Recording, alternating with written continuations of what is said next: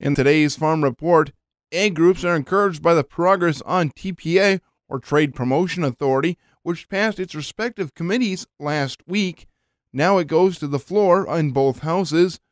Trade Promotion Authority would give the president the ability to work on fast track trade agreements, especially like the TTIP, which is with the European Union, and TPP, or Trans Pacific Partnership, with 12 Pacific Rim nations.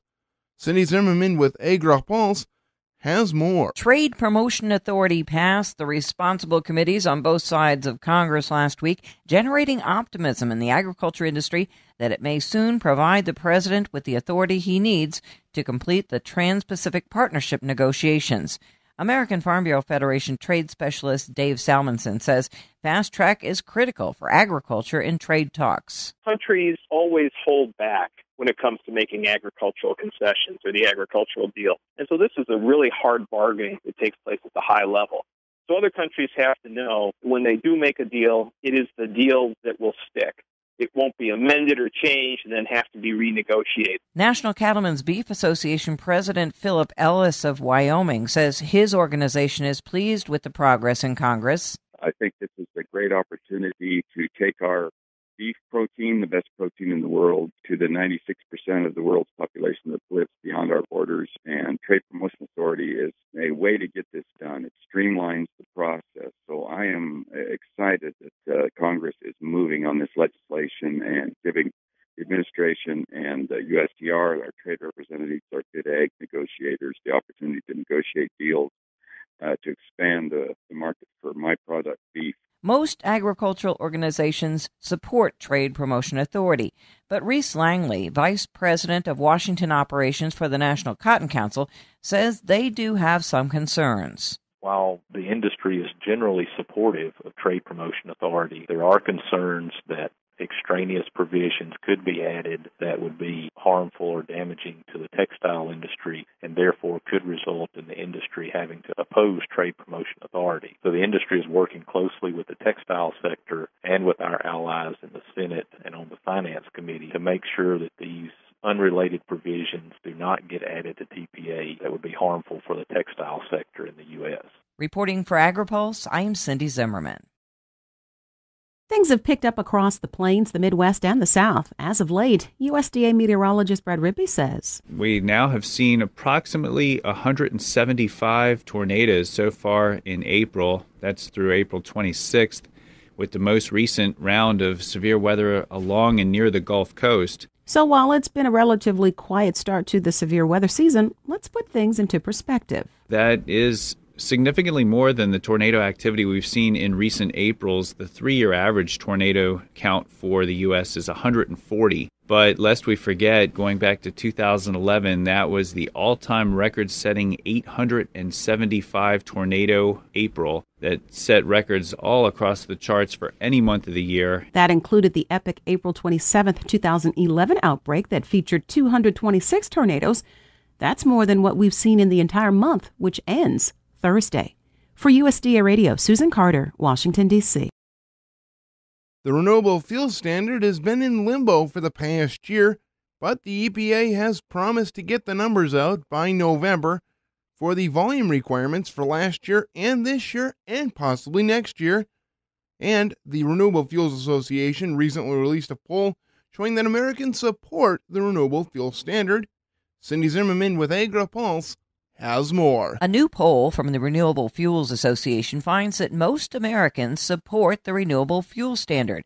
RFA President and CEO Bob Dinneen says the poll shows 62% of voters support the RFS compared to only 18% that oppose it.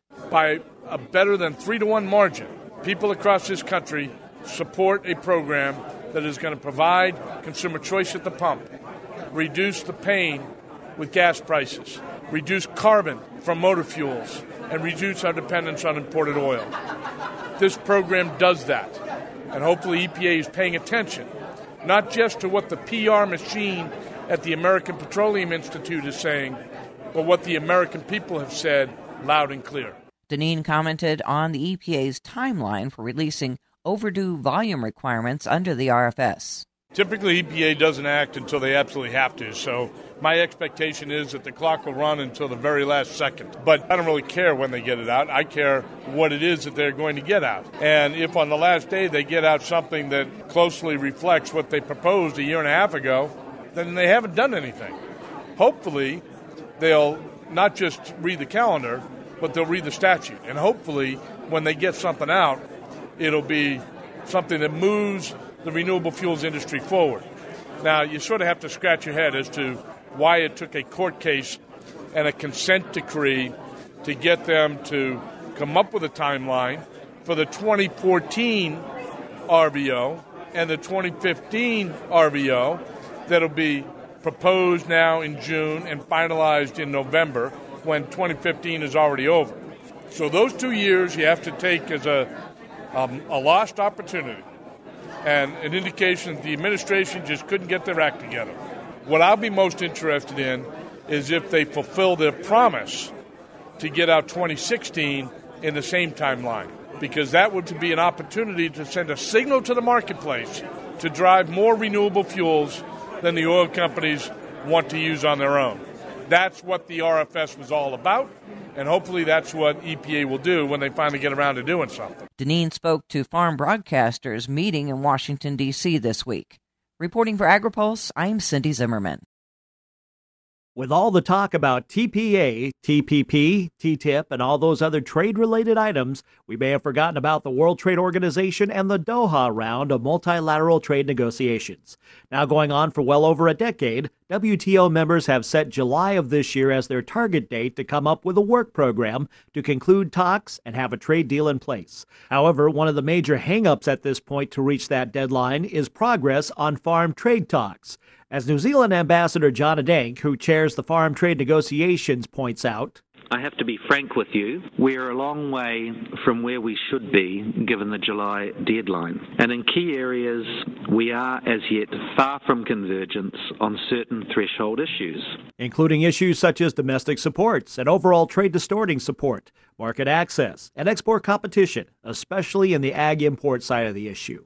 I'm Rod Bain reporting for the U.S. Department of Agriculture in Washington, D.C.